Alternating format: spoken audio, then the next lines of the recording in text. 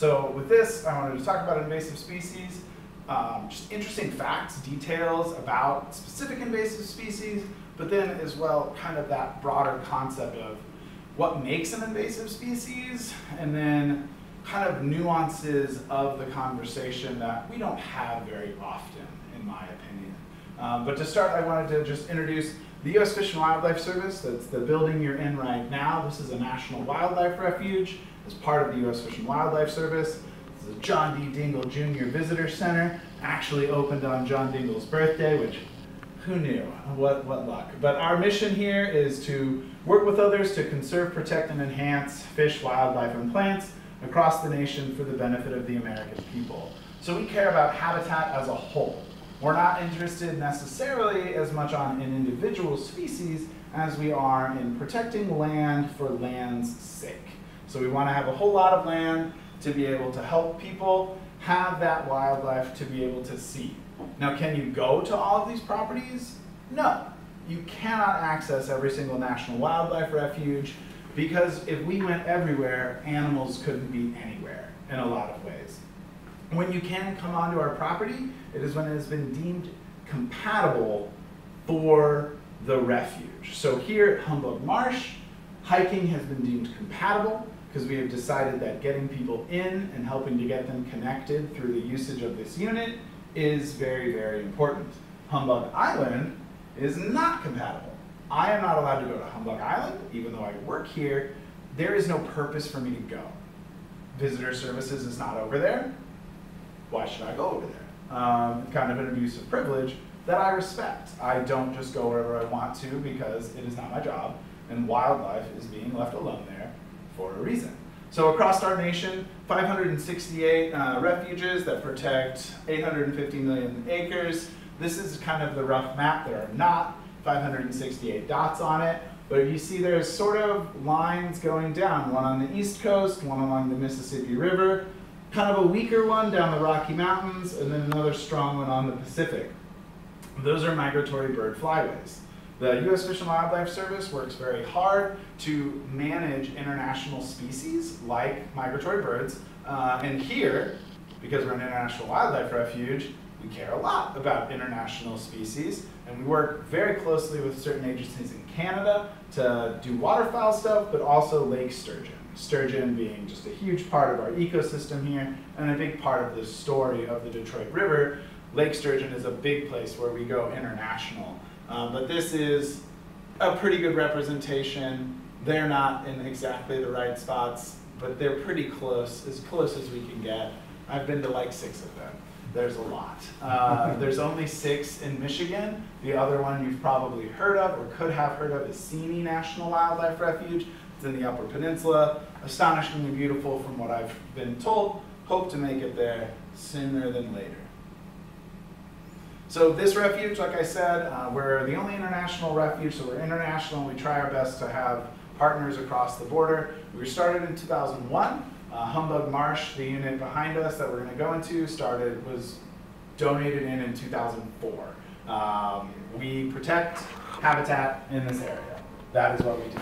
We protect habitat around the Detroit River, and we try to bring people in to get them to connect and enjoy it. We've got an amazing resource of Humbug Marsh where we're going to go hike. It is the last undeveloped mile of the Detroit River on the US side of the border. So if you've never heard this story before, it's a very similar story across the country where locals wanted to protect a resource they found valuable.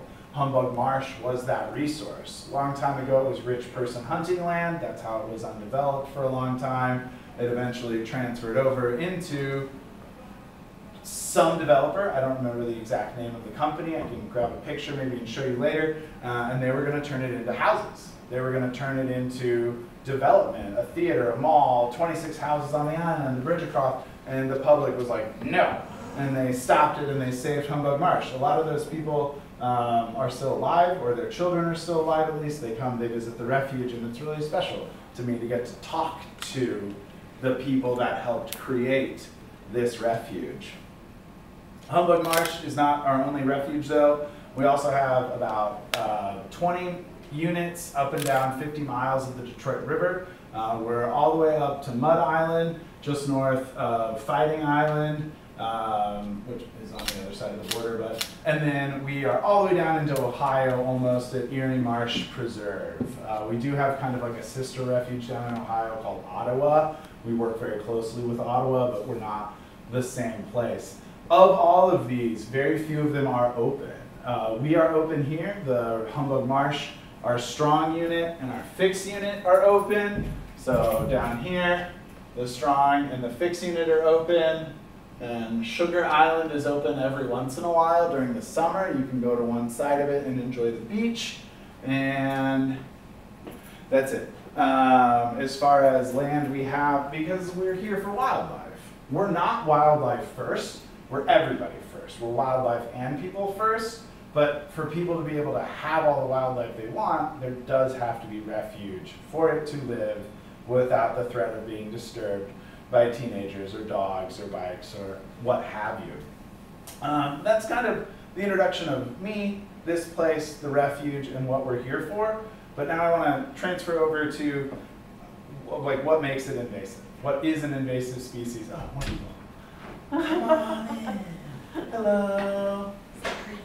No worries. I'm just getting the good stuff. I think.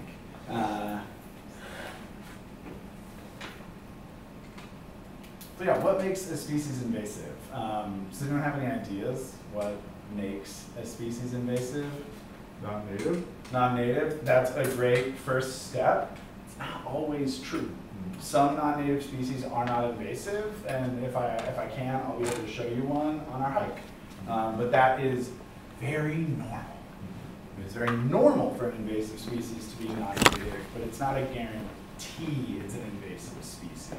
Uh, any other ideas Who as to? determines that it's invasive? Oh, good point. So that's We what should start there. what is exactly what makes it technically an invasive species, and it's not its country of origin. Do you have an idea of what makes it an, an invasive species?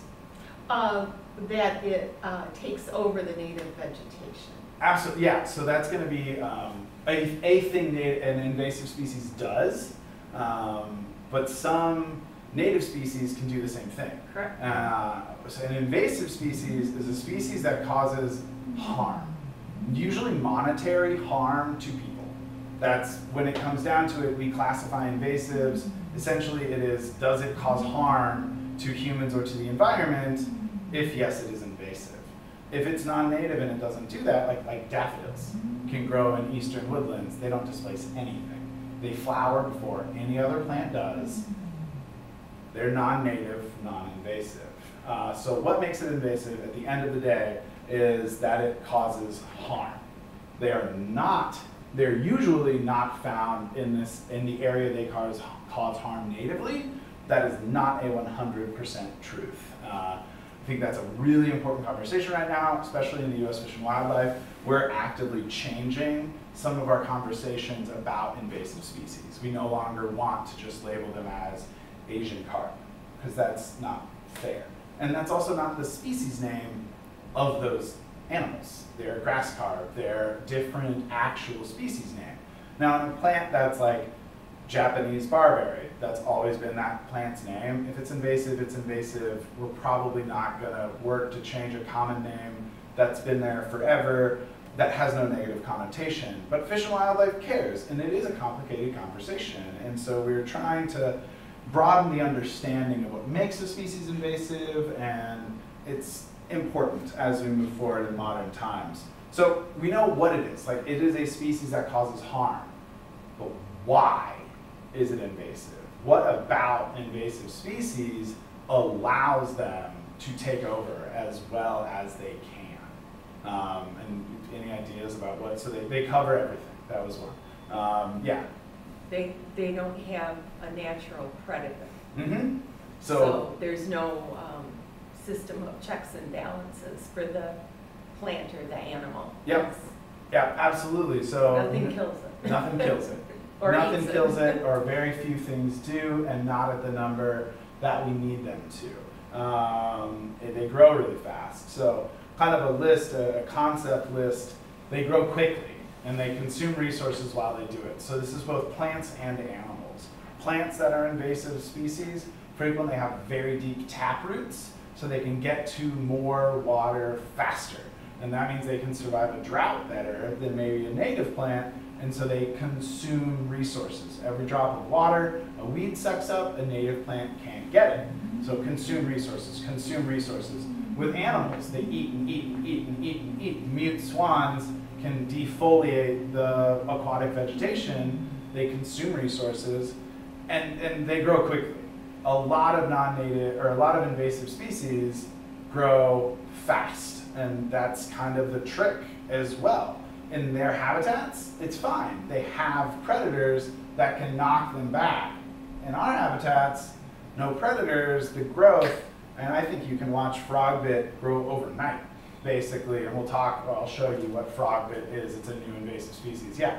Uh, I, if you don't mind, I have an additional go comment ahead, for that. So, like for instance, invasive shrubs. Um, a really key, good key indicator for it being an invasive is it'll be the fir- the leaves that well the leaves will pop out first before almost anything else in the spring, and it'll be one of the last ones to lose its leaves in the fall. And so that kind of shows how it outcompetes is that the leaves will be out much longer than almost any native species, and that's why it's able to get more sunlight, more water, more resources away from those other plants. Yeah, they literally shade out other leaves, and those plants underneath it can't. So, really big example in trees is Norway maple.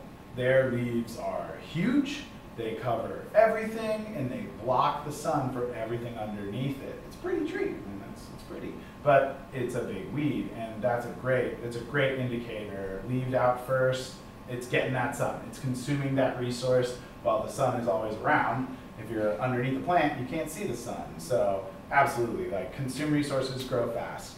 When they do reproduce, they do it in big numbers and they do it fast. Uh, a lot of invasive plants make a bunch of seeds, and those seeds get everywhere, uh, and it's a problem. And so one thing like clean boats, clean waters, um, and it's it, you have to clean things as you move from place to place. If you hike all over the world, if you don't clean your boots in between hikes, you could be spreading those seeds because a lot of invasive species for plants, their seeds are really small, they're very easy to travel around the world, and they have. They have. Agriculture, global economy, a lot of things have gotten everywhere, and when they get there, they breed super duper fast. For animals, same idea. I'm going to talk about an insect that literally just clones itself. What do you do about that? It can just literally spit out babies. Uh, like it is an impossible goal. Uh, yeah.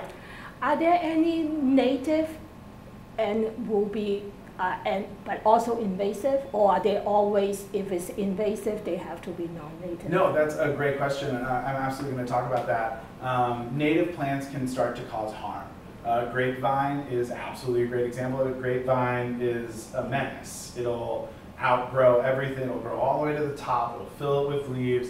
When the tops of trees get really heavy in a big windstorm, they can snap. So we can crown the tree. It knocks the crown of the tree off, which then inhibits the tree's growth. Grapevine, Woo! but it is native. It's just growing too fast around here. So they Something are has invasive changed. Um, they are invasive, yes, they are native invasive species. There's a tree called black locust. It is native to southeast United States. In other parts of the country, it is considered an invasive. Uh, like around here, it is an invasive. And it has thorns on it, so when you reach down to grab it and you pull up and your hand slips, thorns. Um, black locust is a nasty tree, um, but it's great to build with. So what do you do? I have just skipped ahead in my PowerPoint. Yes. Um, and you may talk about this later, but I, I'm wondering if you'll kind of talk about why these native species have become invasive. Maybe there's things that have caused that to happen. I don't know if you'll talk about that now or if you want to answer it. Yeah, um, so habitat change happens. Um, one thing, an example would be red fox. Red fox have always been in North America, have not always been all over the United States. Uh, in the northeast of the United States, before European settlement came in and changed land usage, red fox were not around. Gray fox were, red fox weren't. When humans came in and switched things over, sorry, humans, rude. Um, when land was developed more, it changed. The more trees were taken down, the more open the habitat was, the more foxes came in. The more people built cities, the more red foxes came in. And so they were not there originally. Hum, uh, uh, people changed the entire area. Now red fox can come in. Um, I don't know how it impacts every species. Like I can't say why black locust is just such a pest up here. Down south, there's probably other trees that can compete with it, alongside it, for that growth, for that speed of growth, of taking over. Up here, the only trees that compete with it are also invasive, basically. So it's competing with other yucky um, plants. Yeah. Oh, Okay, so I need clarification Sure. on the terms aggressive versus invasive, because I was corrected one time, I said invasive, and they said, no, it's aggressive. So what the heck? Sure, that was probably someone being pedantic about whether it was native or non-native. Um, so they probably wanted invasive to only be used with non-native. Um, I've also used the word injurious. So an injurious species causes injury to, and and uh, and it's but like to me, injurious is a step above invasive. Like invasive's bad, injurious is like whoa. um, when I worked at the zoo, the meerkats were labeled as injurious. Like if they got out into the American West, it would be gone. Like meerkats are such successful animals. It's, it, scientists have 100% confidence they would outcompete the prairie dogs and just it'd be over. So they're not just uh, like a non-native species. People have taken the next step and be like, if these got out, they would cause severe injury to the habitat. I've only ever heard that when I worked at a zoo. So yeah, these terms get really like we throw them around like it's nothing. That's not fair. Um, so an invasive species causes harm in some way. A native species has traditionally been found in this area hundreds of years ago, and a, a non-native species is more recently introduced. When does that change? When is a non-native species a native species? That's for someone else to figure out. Like there's a plant that's been here since Europeans got here. Is it non? Is it still non-native, or is it native? I- you know, and that's a conversation we have in Australia with dingoes. They're wild dogs, but they weren't native, but they've been there for so long. They're an Australian wild. Like we think of dingoes as wild Australian animals. They're a non-native species. Are they native now? I, yeah, it's all for humans and our culture to decide on. So uh, I don't know. It's kind of weird. Um, change whenever we decide to. Yeah, exactly. like everything in life, it, it'll change when we decide to change it, Yeah. basically. Um, so they have they reproduce fast and in really high numbers. They have a very generalized diet. If you eat anything, you have a much higher chance of surviving. Invasive species can't be specialists because if anything were to change, their system collapses. They have to be generalists. They have to just be able to live anywhere, eat anything, and be good to go. Um, uh, an example around the world, which I'll talk about, raccoons. We know them, we love them. Um, raccoons in Europe aren't from Europe, and they mess with that place hard. Like Germany is overrun with raccoons in some areas. They're generalists. They live really well. They're also what we consider urban wildlife, so they live especially well around people. Same with red fox. That's why red fox numbers increased in the Northeast. More humans live there, more red fox. Um, but yeah, raccoons are a problem. Just in in other parts of the world, here they're kind of also a problem, but we wouldn't classify them as invasive, just a nuisance. Um, Japan made a raccoon cartoon character years and years and years ago, and then everyone imported raccoons as pets, and now there's raccoons all over parts of Japan as well, because the pet trade does stuff like that. It's a lot of non-native invasive species come in because of the pet trade, and then people just releasing them because they can't take care of it. So yeah, it, it's it, we throw things around a little more than we should. Um, but yeah, they, they, the generalized diet for the raccoon, bullfrogs, great example. They eat anything. It's a generalized diet, so they can absolutely. And then no predators in the area that was mentioned earlier. Even if there is something that can eat it, They can't eat it in the same amount of numbers that matters because they reproduce so quickly. So it's it's even if something can eat it, it probably can't eat it at the speed at which it needs to eat it for the, the invasive species to not become a big problem. Um, so I'm going to talk about some specific examples. I have some favorites. Um, this is a favorite of mine. I know they are a problem. God, I love common starlings though. Um, so they're actually uh, threatened in their native habitat. In Northern Europe, especially, they have very low population numbers now. Not 100% sure why, but it's quirky because they're a pest species in this country and they are threatened in their native habitat. We'll send them any, any number they want. Yeah, I know exactly. Like literally, we'll ship them off by the treeful. Um, but they, like, they didn't mean to be here. They're just doing their best, and this happens to be a place where they live now. They actually live basically all around the world where they can in temperate climates. Some people who love Shakespeare introduced them into Central Park because they thought it would be fun. Um, at one point, this group of people introduced every single bird Shakespeare mentioned into Central Park while they were performing the play. It was the late 1800s. Things happened. Um, and, like, yeah. Uh, now they're everywhere. Within 50 years, the, the common starlings made it all the way across the nation and are now kind of a pest everywhere.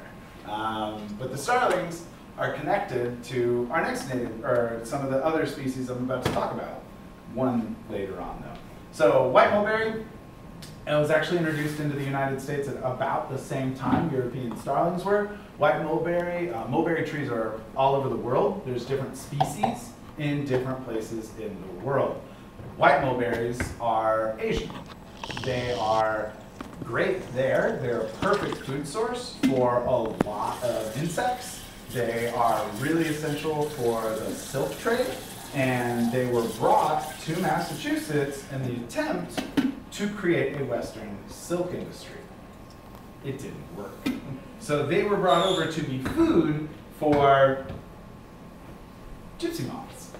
So gypsy moths were also brought to Massachusetts to try to create a silk industry. The gypsy moths and the white mulberries escaped from the house of the person who did actually know the name of the person, but I didn't want to put it in there. It seemed rude. um, some French guy, and uh, they escaped through the window. And now there's gypsy moths and white mulberries everywhere. So the white mulberries, um, the way you can tell the difference is the shininess on the leaf. You're not going to see a red mulberry. Uh, I shouldn't say such definitive statements like that, but you're probably not going to see a red mulberry because the white mulberry tree is just that effective. It's a super weed, but it's, it's tasty. I eat them. Birds eat them, animals eat them, and they poop them and they spread them everywhere. And because they grow faster than our native red mulberries, they outcompeted the red mulberries. If you're lucky and you see one, the top of the red mulberry leaf is glabrous, which is a pointless science word meaning rough, I think. We just love science words to describe things like that. And it just, it's rough. It's not shiny, is what it means. So that's how you can tell a native versus a non-native. Mulberry is one of only two trees that has a variation in leaf shape. So all of those are mulberry leaves. It's cute because it does the mitten thing. So we can have the Michigan leaves every once in a while. Um, but they also have no lobes whatsoever. And then the bottom left, a lot of lobes, a lot of separation in the leaf. So mulberry is really cool for that reason. As a non-native uh, invasive, it's a big problem. It was brought in for gypsy moths. I don't know if you have ever seen the caterpillars. Um, this is gypsy moth caterpillars. I mean, I'm not going to tell you to just kill things you see in nature, but these are can be very bad. I've never lived through an outbreak. From what I understand, they will take every leaf off a tree. They will go to the ground with moth, with with silk. It's a mess. Like it, you will remember it if you have seen a gypsy moth outbreak. I have never seen one. Um, What's the one that's different there? Oh, uh, I don't know, honestly. Uh, oh, um, the way caterpillars grow is in a process called instars. So uh, caterpillars get bigger and they molt. And every molt, they change. They can change a little bit. So the biggest one is probably just a older caterpillar, still a gypsy moth caterpillar, because there's multiple sizes. When they first hatch, it's a first instar. Eat a lot, molt, second instar. When they get up to the fifth instar is when they uh, pupate, and then become an adult. Um, yeah. I have heard that apparently gypsy moths, uh, the caterpillars, are hazardous to touch. Have you heard anything about that as well? Uh, the spiky hairs on gypsy moth caterpillars can irritate your skin.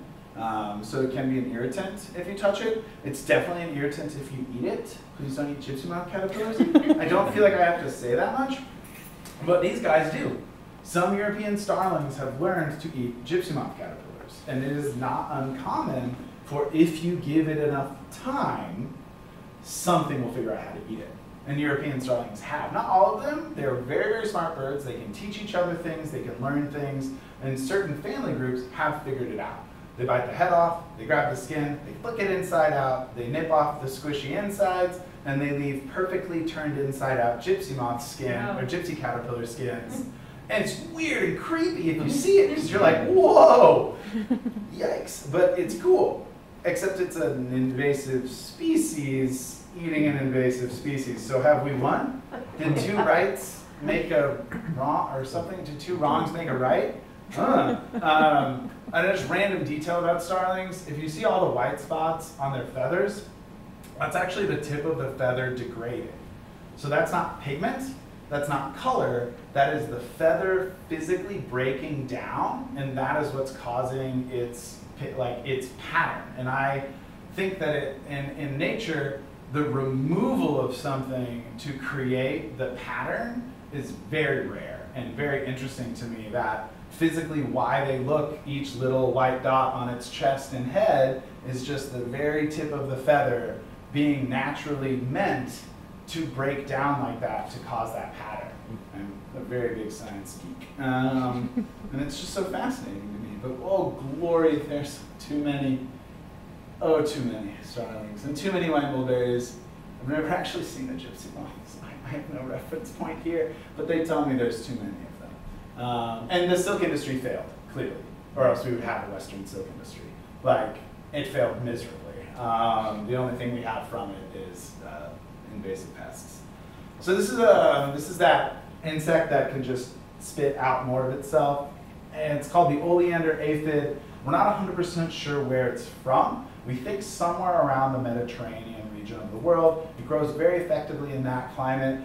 It also lives here, and uh, hopefully we'll be able to see it. Um, oleander aphids are a huge pest for milkweeds and a lot of other plants around our area. They're an all-female, purely parthenogenic species. So what I mean by that is they clone themselves. And they also have live young.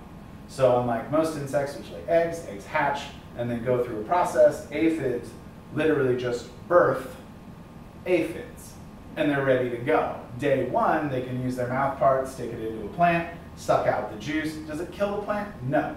Does it slowly inhibit the plant's growth? Yes. Um, so oleander aphids are a new discovery of mine, which I'm very fascinated in. Uh, because as I was walking around looking at our milkweed, I was trying to find monarch butterfly eggs. They're tiny little green things, lift up the leaf, and I see an I see coverage. And so it's a negative, but it's still a fascinating organism. I mean, they are an insect that gives live birth.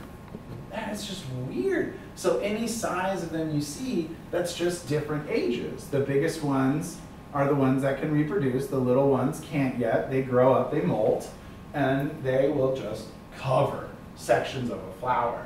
This invasive, what do you do about it? What do you what do you do about the other ones? Starlings, what do we do about it? We try to make noise. They used to do um, like uh, you kill a bunch, you turn them in for money, stuff like that. Bounties. They used to do bounties on invasive species. Mean, we don't do that stuff anymore. Gypsy moths, you try to spray for them, you try to kill them. Almost nobody does anything about white mulberries. That's just not even a not even on people's radar as an invasive species to remove. Some of because they feed the birds. Hmm. So if an invasive species is feeding birds, what do you, what do you do? Like, is it even really invasive? Or is it just non-native and a weed? is red mul- or is white mulberry causing harm? Well, it deplaces a native species. It kind of is, unfortunately. Um, the specifics of invasives go on and on and on and on and on. Um, we'll talk about a few others. Um, so this is a grass carp. It's one of the multiple species of carp that can cause our area's issues. It's just really effective at being alive. It gets really big, it's a generalist eater, and it lays a lot of eggs when it does lay eggs. So it's all it ticks all those boxes of what traits do as a species have that allows it to become something we would classify as invasive. Is U.S. Fish and Wildlife. We do have fisheries offices inside of this building. If you remember the 100-year-old sturgeon that was caught a few months ago in the Detroit River, that was these folks. Um, they do a lot of work to try to catch and remove invasives, not just this type of carp. There's another type of carp called a goldfish. Uh, and goldfish also can get into our waters and get to like head size. So aquatic monitoring, invasive monitoring for our fisheries department, there's a lot of lot of carp, a lot of species like that that get really big. What do we do about it? In the lakes, what can? Lake Michigan's huge. You, you can't really fight it in there as well as you can maybe in the river where it's a smaller amount of water. You possibly can get a stop in. You possibly can find a place where they have not made it and now you can just harvest, harvest, harvest, sample, sample, sample, and try to pull them all out before they get north. It's hard. It's really hard work, and these fish have caused a lot of damage to our local fish ecosystems. It's not the fish's fault. That's kind of an important thing to think about in invasive species. It's not the animal's fault. They are here, they are living their best. It's just that their best is a little better than our best right now. Um, garlic mustard is another really, really common invasive species. A lot of people have heard of this. It's a common thing to go out and pull um, because it, it responds very well to pulling. You can easily get it up out of the dirt. It was brought over here by Italians to cook with because yay and tasty, and a lot of cultures brought the food they ate to wherever they were going. That's super duper normal. This plant, though, can create a monoculture in our woodlands, taking over the entire understory, making it impossible for other plants to be able to grow. And people just don't eat it in the amount necessary to take it out of the ecosystem. Um, a monoculture is the term we use when every single organism you see is the exact same species. So like Iowa is a monoculture of corn. It is all corn. Um, our grass is a monoculture of grass. Um, so garlic mustard, really big problem. Um, a tree invasive. Um, this is tree of heaven. So this is not the tree. This is just a leaf of tree of heaven. And a leaf of tree of heaven starts here and extends all the way up. So that's like 2, 4, 6, 8, 10, 12, some other math. Uh, 20, I mean, we're getting to like 30 by the time you get down. So 30 little leaflets to make up one leaf. They get even bigger. Um, tree of heaven grow really fast. They're very common on the edges of construction sites, the edges of disturbed land. They're just because they grow so fast, they absorb so much more water. They take in so many other resources. Native species can't compete with the water drain, with the amount their leaves cover up everything. Do they have pretty flowers? Yes. No. That is why they are in America. Um, because if it's pretty, we planted it here maybe, and now we have to deal with the consequences. Blank slide randomly. Um, Phragmites, huge grass issue. Is it pretty? No. Uh, it got here on accident. It was just in agriculture, it was in dirt, it got over, and now it's growing everywhere. It could have also been purposefully brought over as a hay crop for cattle. Some grasses in this country that are invasive were brought over here to grow food for your animals. It, it, it makes sense if you're thinking about it. You're moving to a new place, you're bringing your pets, you want food for your pets, you plant food for your pets. But Phragmites is just, it just outcompetes. It grows faster and faster and faster, and a lot of grasses don't grow an individual plant from an individual seed. So the grass can shoot a root out and pop up another stem. Same plant pops up another stem. So one couple little grasses, one little clump can grow. A cattail, which is what should be where Phragmites are, one cattail grows from one cattail seed. They can't propagate the same way that Phragmites can and other grasses can as well. There are other non-native invasive grasses. I Um, thought D- the DNR brought those over and planted them to do an experiment here in Michigan. I, I mean, people have done a lot of weird things. I've never heard that. I just moved to Michigan, so I don't know all of Michigan history. Um, but it, it almost definitely was both unintentionally brought in and then also intentionally brought in. a lot of invasives uh, in farmland were brought in to hold the soil together in between crops or to hold the soil together on the edges. There's a really common plant called crown vetch, um, and it is super invasive, but it was brought in for a purpose. It was brought in to be ground cover to stop erosion from taking away your soil in the wintertime. So this is what holds Louisiana together. Like half of Louisiana wouldn't exist without Phragmites. And there actually are native species of frag. Like native species of Phragmites exists. It's just the non-native pushed them all out because they just grow faster. Um, personal issues, uh, swans. So the mute swan, the orange at the tip, black by the face, non-native invasive swan. Mute swans are bad. Mute swans are very bad. Um, they attack other birds. They eat all the food. They just they're a nuisance species. They are a problem, and then because they're pretty, it makes it impossible for scientists to take care of it because people's emotions start to impact with ecology. So my best example of why mute swans are bad, even though they're pretty, are like popular girls in high school. Yeah, maybe they were cute, but they were terrible. And like that's and people get it. They're like, oh yeah, I remember those girls. Yeah. So yeah, they're pretty, they're great, but they're awful. And like they attack you. They, oh yeah, swans. Yes. Yeah, I was gonna add on to that. Mute swans, if you actually are near them in the water, they will try and drown you. And Like have- they, will try and drown you. they They, are very killed aggressive. Like they have Wow. to. It's intense. They can kill your dog, no question. They hit hit it with the wing. If you think about a bird that heavy can fly, how strong it must be. So that thing hits you, you're having a bad day. Yeah, no, mute swans are terrible. Tundra swans and trumpeter swans, they're fine. They're native. Um, the tundra swans are way farther north. We're the southern range of a tundra swan. Probably not likely to see, honestly. Trumpeters would be the more common of the native species in our area, but because mute swans are so prolific, they've pushed a lot out, unfortunately. Uh, and the East Coast on Long Island, where I lived, they were brought in because a bunch of British people lived there and they wanted to see the animals they were used to seeing. They, as well, back in the day, the feathers were great quills.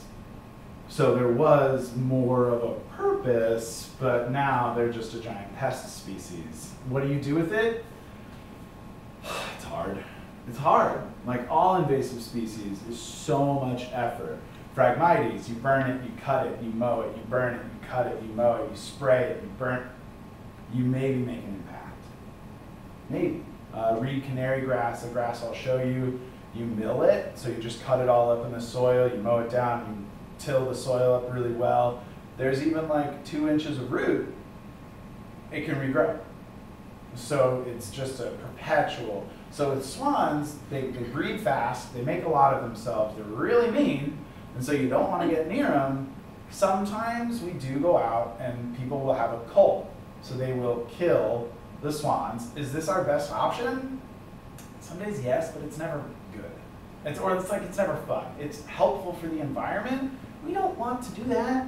We don't want to have to go do things like that, but we want to have an ecosystem that can support 20 different species of waterfowl and not just swans. And so choices have to be made sometimes, and invasive management that are not happy, but are necessary for the greater good of the whole system.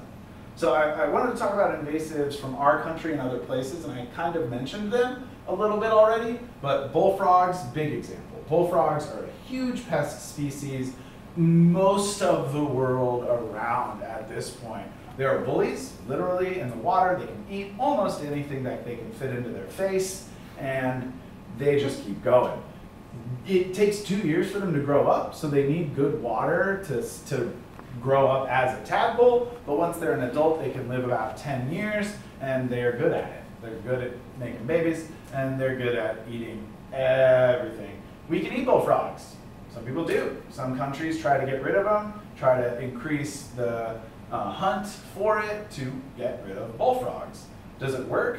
Not really. Um, they displace uh, native frog species because they're just better at it than some of the natives. So it's unfortunate. It's a normal species for us. It's a negative species for them. It's also invasive in the United States where it is not natively found. So on the west coast, where it would not have been natively found, a bullfrog is considered an invasive species, even though it was originally found in the country.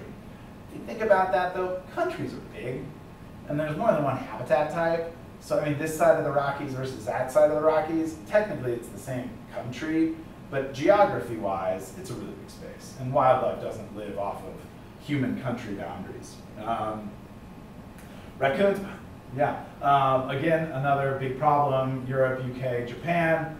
Brought them over because they were cute, thought they were fun. Maybe someone tried to start a fur industry. Things got out of hand. Um, adorable as they are. Grape, again, same conversation. I think I actually talked about all of these already. Um, grapevine, really cool, tasty. The wild grapes are great. There's actually, I think there's about 10 species of grapes in the world, and the majority of them are native to North America, not France. I think I read like seven are native to North America, and only one is actually native to France, which in our brains, we just always relate France and grapes together, which I think is kind of interesting that they're more an American species, um, but they can outgrow. That tree is now covered in grapevine. And, and, and if that was the only vine that did that, cool. It's one of many vines that do that. It just happens to be a native species that is currently thriving a little bit more than we realized. Um, the black locust, another species I mentioned, um, that's the leaf on the left side. So it's got very, very rounded leaflets uh, and 15 little leaflets that make up one whole leaf. Its flowers are beautiful, white flowers, and it's great for building with because it's heavily rot resistant. If I was going to go build a fence and I just needed to cut trees down, I would cut black locusts down because they're not going to rot in the ground. So if you were planting trees to use, it's a great tree. Grows fast, covered in thorns, really awful. Uh, and the American Southeast, it's totally fine. It's totally normal. Up here, Long Island, where I used to live, absolutely not. Black locusts are very bad.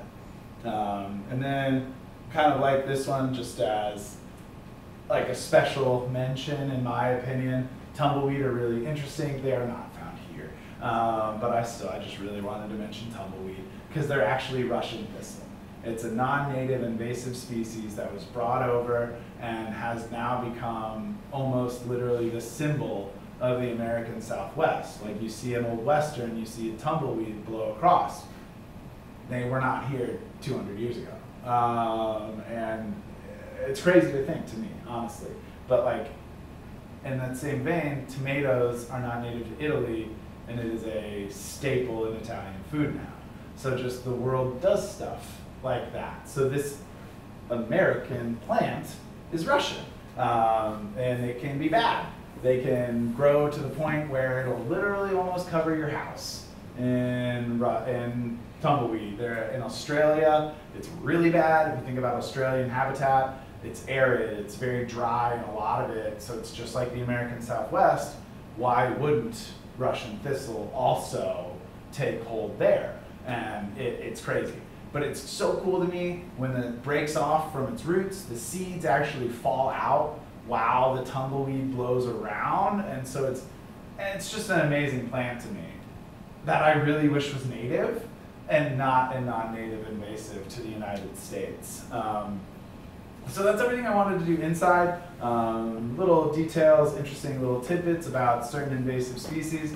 I do want to go outside real fast and actually show you some of the invasive species we just talked about. Um, not all of them, I promise I won't find tumbleweed, but um, I, I definitely will see uh, quite a few of them actually. So the building is locked. So I have keys. You can leave anything in here. No one else can get into the building when we go out and hike, and then when we can return in, grab our stuff, and then head out. So, does anyone have any questions before we meander into the woodlands? Okay. Uh, so we're just gonna They're okay to watch and stuff, but like along the river region, it's like in Monroe, they try to walk off the trail by the, but you go and pooped up again. Uh, when it's baby season Really here, nice. baby season here is just profound. Um, thank you. Yeah, it's a really happy, it's a really happy thing. Um, And how many miles of trail? uh, we have a half mile trail, which we're gonna go meander some of it, and then we have a two mile trail. Okay, great, okay. Yeah. Um, so this is Humbug Marsh. This is the beginning of that beautiful uh, nature area that was protected by locals uh, just really even 30 years ago. Um, which is crazy that it's 30 years ago already, but uh, as we walk in, there's definitely, I mean, if there's going to be invasive species right away. It's kind of part of an urban environment. This is a very urban area. We are very close to Detroit. We are very close to a large amount of human interference and just effect on nature.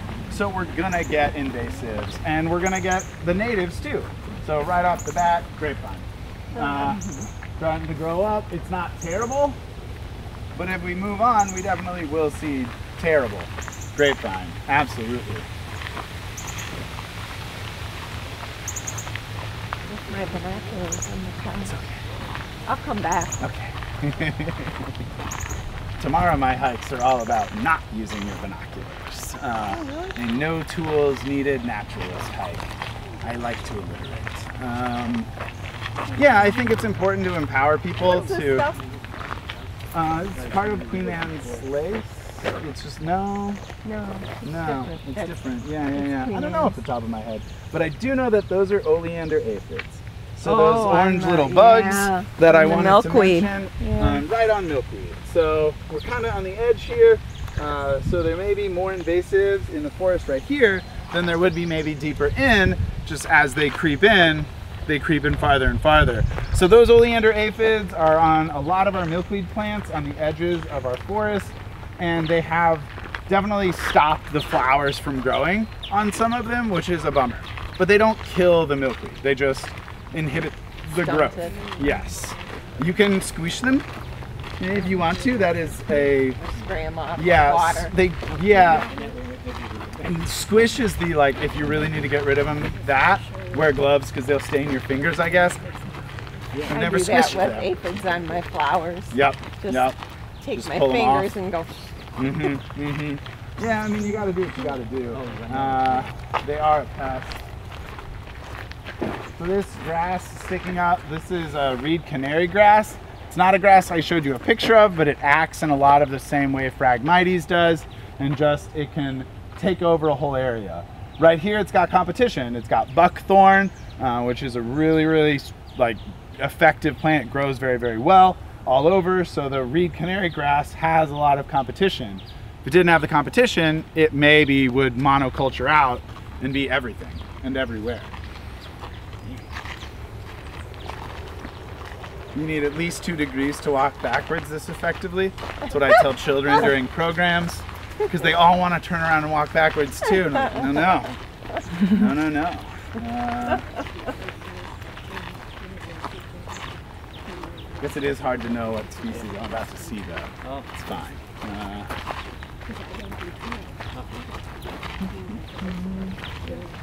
Yeah, so we, we opened the grounds last October to hiking, uh, and then this April we became seven days a week, and then we finally physically opened the building on July 8th. So it's been a nice slow burn as we get started, and then we also have like more programs. So this is basically the first partner program that the refuge is hosting, um, like this kind of thing. We have had people come in to teach other programs, this is the first one in this nature, and I'm starting to do it my own personal hikes, and we've got more and more and more and more and more coming. Is that on your web? Yeah, it's on the? Facebook as well as our website. It always posts to Facebook first. It's just fastest. It's just faster. Um, but yeah, we know it needs to be on the website and other places when we can get it there. I can give you the current event calendar when we go back inside. Okay. Yeah. So we've got uh, dead Phragmites, but we have leaf canary grass right next to uh, narrow leaf cattail. The narrow leaf cattail is actually a non-native species, but it's cattail, so it's better than reed canary grass. It's a weird conversation that we're having where it's like, well, it, but it's not native. You're like, yeah, but it's cattail. And so to me, take the cattail, ditch the reed canary grass. To purists, they're like, it all has to go broadleaf cattail only, and no, cattail good. Long Island does that with chestnut trees. The chestnut trees had a blight, they almost all disappeared. Um, some are fine. They don't want to reintroduce non Long Island phenotypic chestnuts onto Long Island because they want to keep it as pure as possible. And in my opinion, let's just get chestnut trees. Like, Yeah. it's fine if they're from Connecticut. Let's go, guys. Like, even if the tree was from Ohio, I would rather have it here than not have the tree. Um, yeah, a lot of reed canary grass along here. It's very frustrating. Uh, frag is a little bit higher of priority around here, but we'll just kind of hit them one at a time as we go. I see? No, okay. So uh, this spot here, um, these are caterpillars, and they look like they could be a problem. They are not an invasive species. They're not an injurious species. They are, they just are. They're native. If they were to take over the entire tree, then that would kind of be more of an invasive situation. But if you see a little bit, it's totally fine. It's not something to freak out about. I know a lot of people are kind of concerned when they see a chunk of a tree being eaten like that, but it's fine.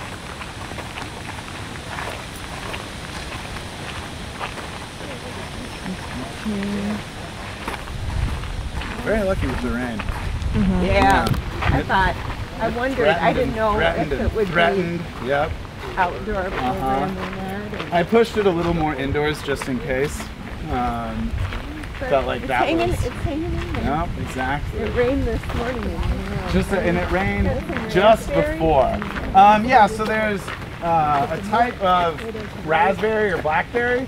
I'm not exactly sure what the exact species is, but this is a common sight in eastern woodlands of some variety. Um, blackberry, wineberry, raspberries, whatever the name is, they're very similar plants.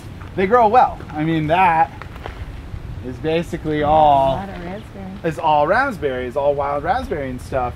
This is another plant that has three leaves, so don't touch it, but it's not poison ivy. I tell kids not to touch it because it's got thorns. Yeah. Three leaves, it's either pokey or poisonous. Either way, don't. Um, is it invasive because it takes over everywhere? I don't know. That's an argument you can have with other people. If you don't want it to be only this plant, then yeah, you would consider it an invasive. But it is possibly a native. There are also non-natives. So it's kind of without like the expert scientists being able to identify exactly what it is. It could be a native species, it could be a non-native species. Depends on your management whether or not you think you need to remove it. A lot of animals eat the berries. There is a native variety, so we don't fight it very hard. Um, some things, if there's not even a native variety, we may fight it a little harder. It's wine, it's wine berries, it's blackberries. You want to eat them, like I do. Same with the mulberries, you know. I don't like that it's the non-native mulberry, but I like that there are mulberries I can eat. It's a quandary. Um, there's a tree. Uh, there are different olive trees from around the world, and then I remember in the American Southwest, an invasive species of olive became the primary nesting habitat for an endangered species of bird. what do you do? Like you want their olive gone, but the endangered species only nests in that tree now. Yeah, but that's nature. It's not, it doesn't care. Well, we, it's just doing. Uh, life finds a way. All good fun. Just totally made a little tent underneath. I think it's beautiful. I think it's cool. It's really bad for the tree. Um,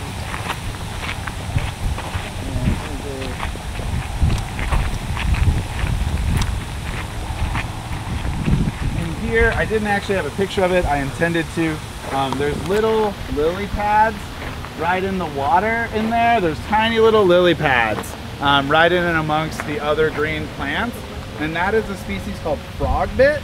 And it is super Oh, I see them now. Yeah, they look like Kinda little gotta lily look pads. really- They're really cute. They're very pretty. They are very invasive. They're heavily sold right now in the uh, aquarium trade, just because they look nice. But they're a really big problem.